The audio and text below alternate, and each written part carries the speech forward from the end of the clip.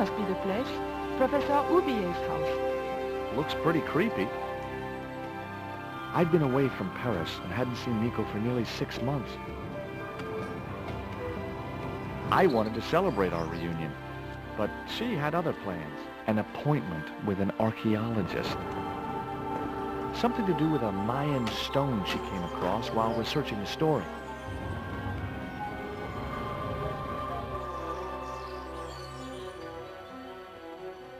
The guy who answered the door didn't look much like an archaeologist to me. I had a bad feeling about this.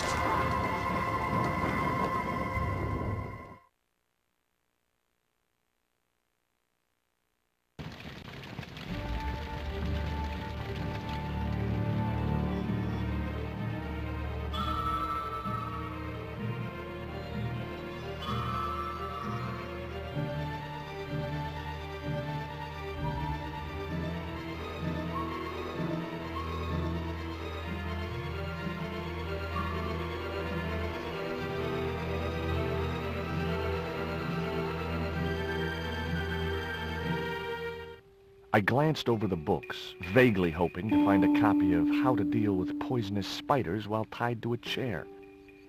No such luck. But I noticed one corner of the bookcase was supported by a loose block of wood.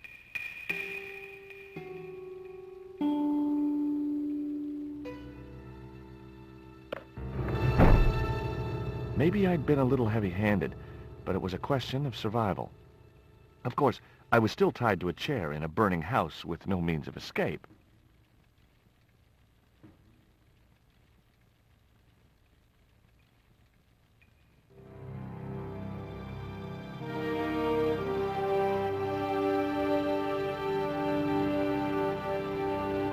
With one mighty bound, our hero was free. Now, I had to deal with that fire.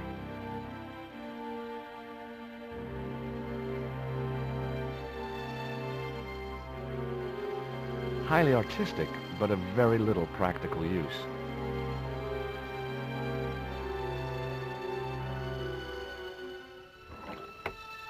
Inside, I found a bottle of tequila. Normally, I didn't drink strong spirits, but today was far from normal. Disgusting.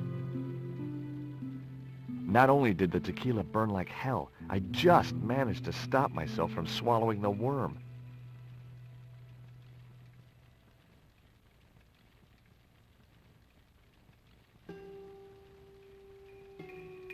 There was something short, fleshy, and gross on the carpet. It was the worm from the bottle of tequila.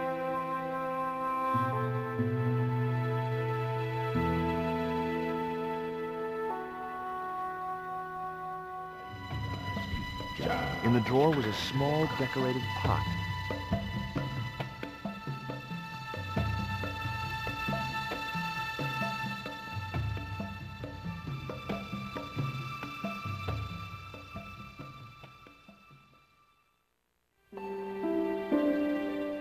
Nice couple.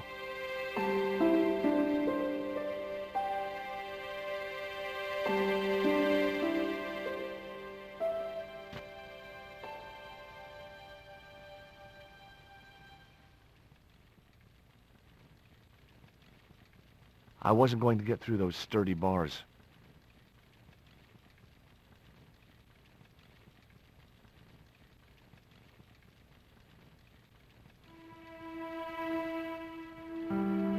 It was a stylish little canvas number containing a lipstick, a handwritten note, and a pair of nylon panties with a large love heart emblazoned across the front.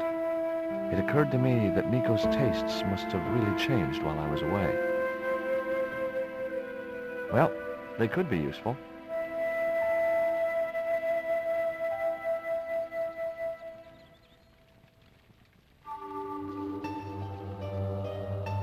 That dart was sharper than a mosquito's business end, but this didn't deter me from getting it anyway.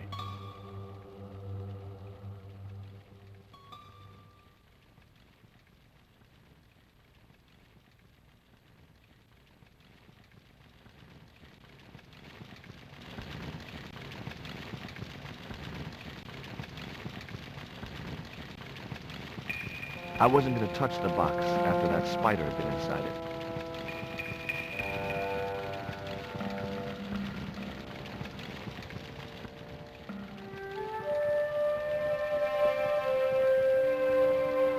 There was no pressure in the siphon. I guess it was out of gas.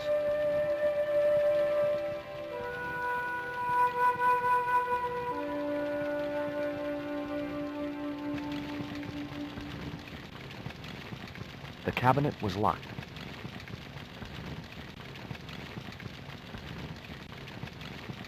The cabinet was locked.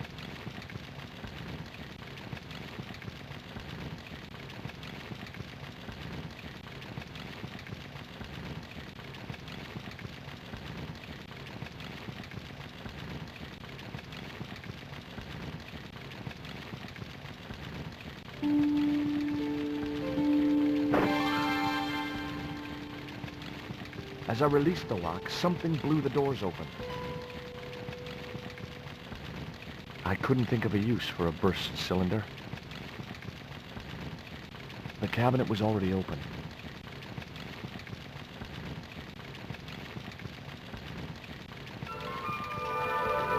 That cylinder was hot. I couldn't pick it up with my bare hands.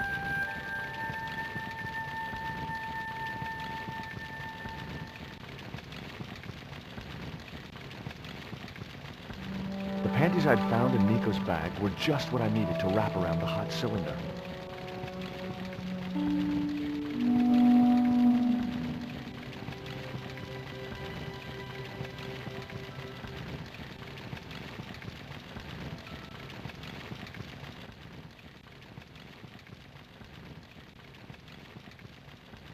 There was no pressure in the siphon.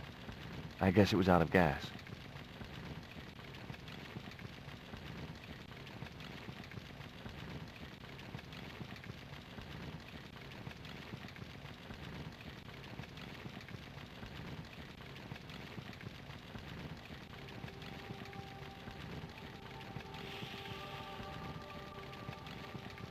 Cylinder gave out a faint hiss as the valve opened. What? Now I had one primed up and ready to use extinguisher.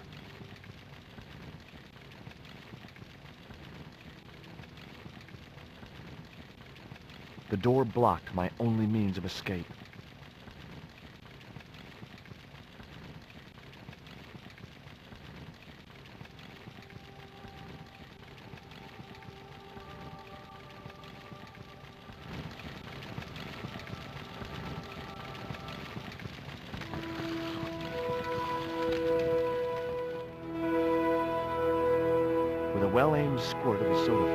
Our unshakable hero saved the day. Now it was time to start looking for Nico. I wasn't going to burn myself on that red-hot doorknob. And it wasn't the time for subtlety.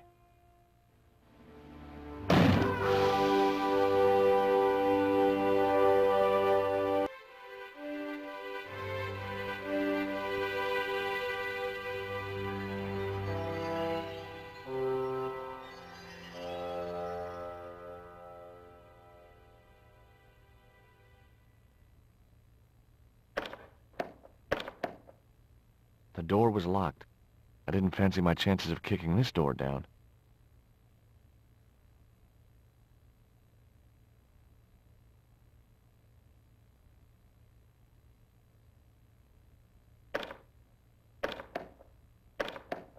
It was locked.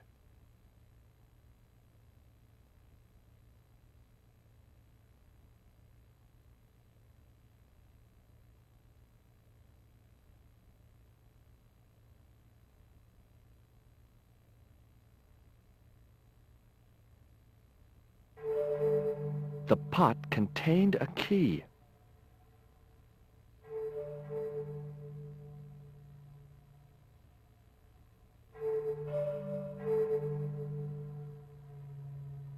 I guess I had no business reading the note, but I figured it might give me a clue to what Nico was involved in.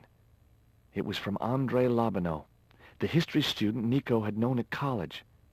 The letter was sentimental mush, and revealed that the exotic lingerie, as he called it, was a gift from him. It gave his telephone number. Lobineau figured himself as a rival for Nico's affections, but I couldn't believe that that creep was in the running.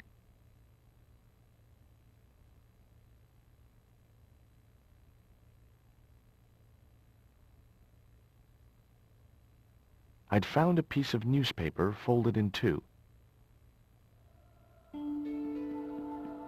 It referred to a forthcoming eclipse of the sun. Unfortunately, it wouldn't be visible from Europe. The best place to view the eclipse would be Mexico. Much as I disliked him, Lobineau might be my only hope of finding Nico.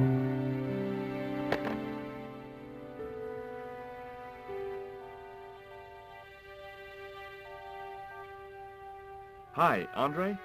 Who is this? It's George Stobart, Nico's boyfriend. Don't you mean ex-boyfriend? Look, I didn't call you just to pick a fight. I need to talk to you about Nico. Can't you accept she's just not interested in you? Listen, Andre, we need to talk. Nico's life depends on it. Okay. You remember the cafe at Montfaucon? Sure. Andre? You'd better show, you creep. I felt an irrational urge to wipe my ear.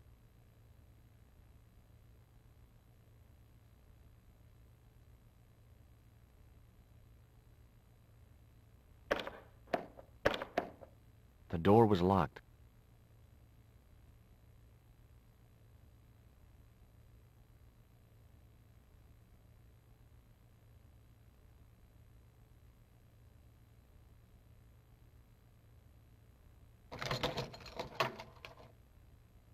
I unlocked the door. I wasn't looking forward to meeting Lobineau again, but he was my only link with Nico.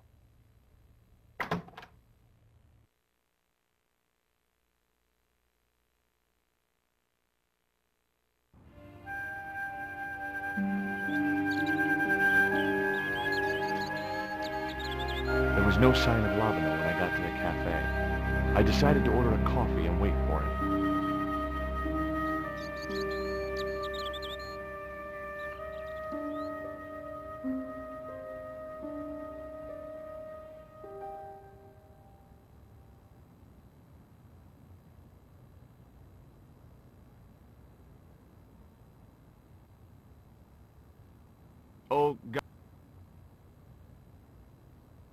He ignored me.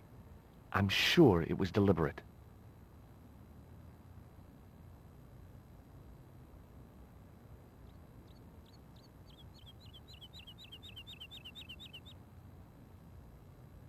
Hey, you. Qua? I'd like a cup of coffee if you don't mind. When I finish serving this gentleman.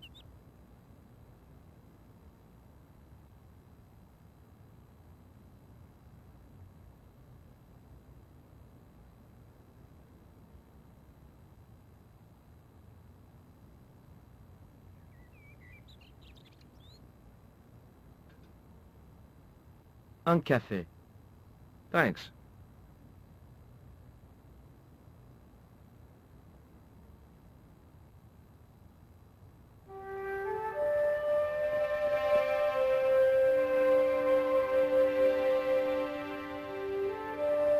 Do you know a guy called Andre Lobineau? Oui, I know him. What of it? Well, I'm supposed to meet him here. Did I miss him? No. I have not seen him today. Have you heard of Professor Oubier? Oui. He married that actress, the little dachshund. They used to come here, the nutty professor and the movie star. If Oubier's wife was a movie star, how come I never heard of her? She was big in France. The world doesn't stop at Hollywood. Her stage name was Carol Climax. She died in suspicious circumstances. How did Oubier's wife die? I heard he shot her. And got away with it? He had a good lawyer and a watertight alibi. Why would an eminent public figure like Oubier risk everything for murder? He wouldn't be the first, would he? Besides, people like him always get off. Do you know that man over there? I should think so. He's a regular customer. Who is he? A man with a secret. He used to be a cop. Of course. I'd met the gendarme in this very cafe. He was kicked out of the force a few months ago. Since then, he's been drinking himself stupid. His liver must look like the last pickle in the jar. Look at this. A poison dart. Ah oui, sure. It's the real thing. Knocked my girlfriend out cold in a matter of seconds. Romantic. Sounds like a real close relationship you have going. That's all. Thank you.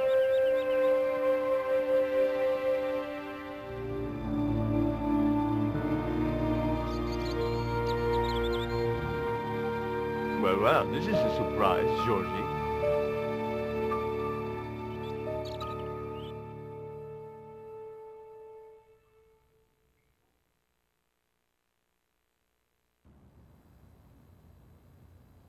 I wouldn't normally call you. But Nico's in trouble, Andre. Deep trouble. You have to help me find her. What? What have you dragged her into this time? It was you that recommended Professor Oubier as an expert on Mayan art. Now his butler's kidnapped her, and he tried to kill me. Every time she gets involved with you, there is trouble. Walking out on her was the best thing you could do. My father was dying, damn it. I had no choice. Well, she soon recovered once she went back to her old friends. Drop it, Andre. Right now, Nico's in danger, and we have to work together. So, how can I help? Nico needed to speak to Oubier about a stone. Oh, you mean this stone?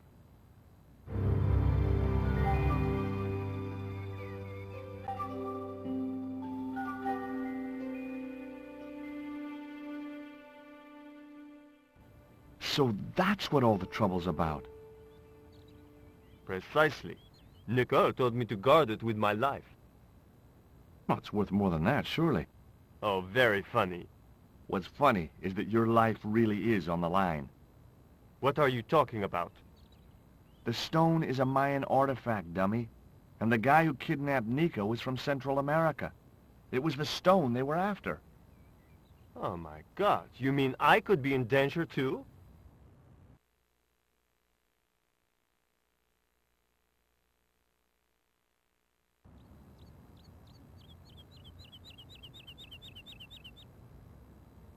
Why didn't Nico take the stone to Oubier? I don't know. Perhaps she suspected something like this would happen. If she's been hurt, Andre, I'll break every bone in your body. No, that's typical of you. Do you think I don't care what happens to Nicole? It occurred to me that slugs don't have bones to break, but I kept that thought to myself. What do you suppose the carving on the stone means? I don't know. I haven't shown it to anyone. Why don't you just give it to me? I don't want your death on my conscience, Georges. Does Oubier employ a guy from Central America? Maybe. I don't know.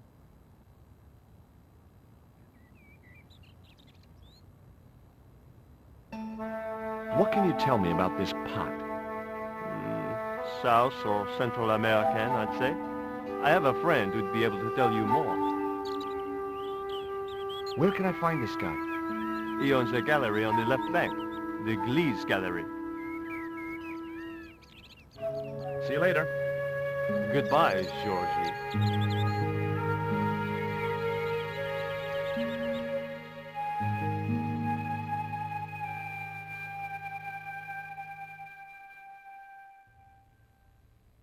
I've had enough of your games, Kala.